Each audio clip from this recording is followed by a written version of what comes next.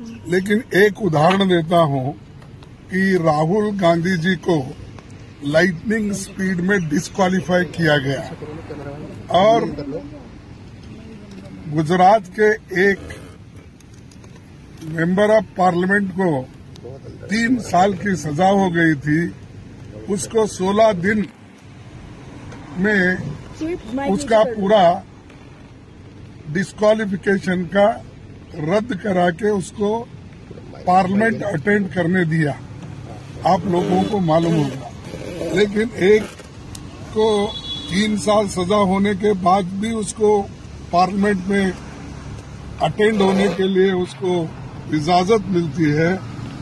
लेकिन एक व्यक्ति जो सच बात किया है, उसको लाइटनिंग स्पीड में डिस्कालीफाई किया जाता है। 24 फोर आवर्स में उसका नोटिफिकेशन निकाला जाता है।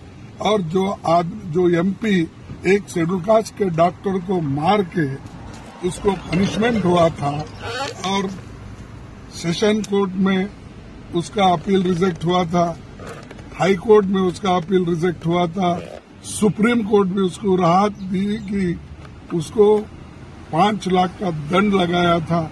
ऐसे लोग अटेंड कर सकते हैं और सच बोलने वाले अटेंड भी नहीं कर सकते, उनको पार्लियामेंट से बाहर रखा जाता है। तो इसी के ऊपर आप सोचिए, कौन दबाव किसके ऊपर डाल रहा है और किसको रिलीफ आज मिल रहा है।